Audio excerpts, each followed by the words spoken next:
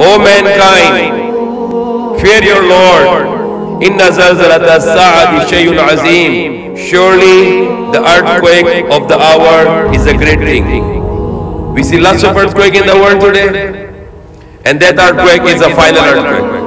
That will be the end of the world when Allah will make the greatest earthquake of all time. And it's very near for us today. We can see the lots of signs of the end of the world. Lots of signs. يوم ترونها تذهل كل مرضعة عما أرضعت وتدعو كل ذات ذات حمل حملها. That day all the pregnant women will be aborted. And all women who are nursing their children, they will neglect their children. Why they will child aborted?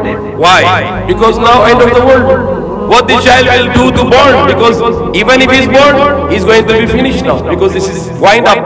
Allah is finishing the world. So Allah is mentioning that all the women will be aborted. No need to make child anymore because now it's end of the world.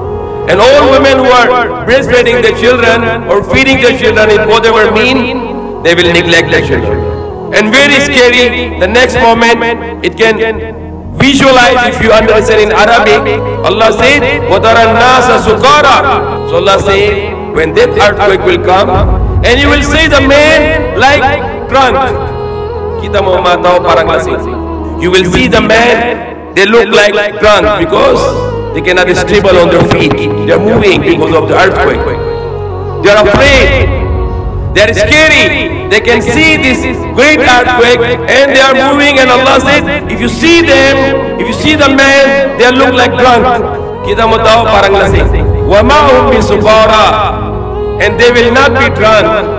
Hindi sila lasing. Walakin azab Allah is shadid. And but the punishment of Allah will be terrible. Will be severe. Malakas ang iyong ng Allah. Dahil yung tao kita mo parang lasing. And I said la, last few months, so, we are waiting for another early warning. Because Allah said in Quran, maut. You are busy with the worldly affairs. You are loving the dunya. You love this world. You love the money. You love the materials and you are just struggling how I can make more money. And if you don't earn money, you are very sad. If you earn the money, you're very happy. Day and night, you are struggling how to make money.